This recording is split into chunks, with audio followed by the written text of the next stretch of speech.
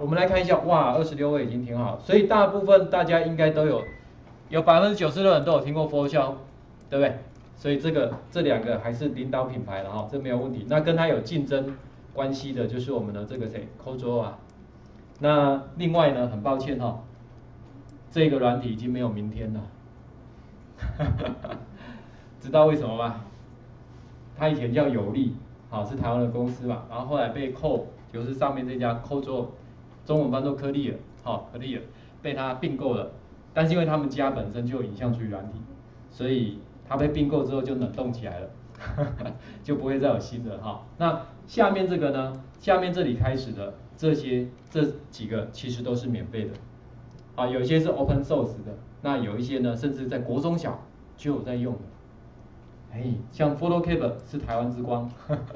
好，虽然它今年蛮蛮多年没更新了，可是其实还不错，蛮好用的。等一下我会稍微跟各位介绍一下。好，那另外呢，另外有个 Open Source 的影像处理软体叫 Gimp，这个在网络上你也可以看到一些教学。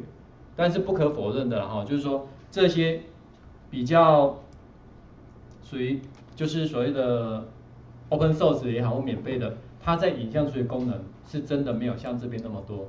但是 PhotoCap 还有就是像 Quista 这个哈，Quista 这个，它们都是功能算蛮不错的，好，蛮不错的哈，所以就算你完全没有用过的来用，其实也还 OK，好，还 OK，好，那我们再往下，APP 应该很多人就印象会深刻的，美图秀秀，这个郭董的老婆有一段用的有没有？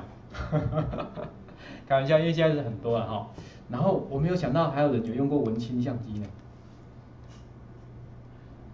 这个等一下我们会有那个连接，你可以连过去看看哦。那摩曼跟彩曼这两个也是最近这两年蛮红的，哦，所以知道的人也不少，有一半的人有知道。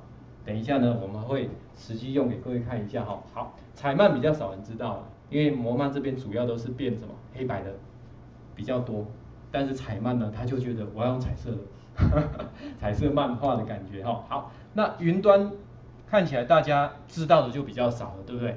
很显然的，只有跟你放照片的地方有关的，大家比较知道而已，其他的几乎都很少。那不好意思，我们今天会用比较多这里的，对不对？因为都没用过嘛。因为其实在云端的部分哦，影像处理算是相对比较成熟的，相对比较成熟，哦，因为它很早就进来了嘛，很早进来，而且档案量又相对比较小。好，那我们了解了大家，哎，对于这个的一个概念之后呢，我们。现在呢，就在开始前，我等一下要介绍另外一个东西给大家。好，这一段到这里。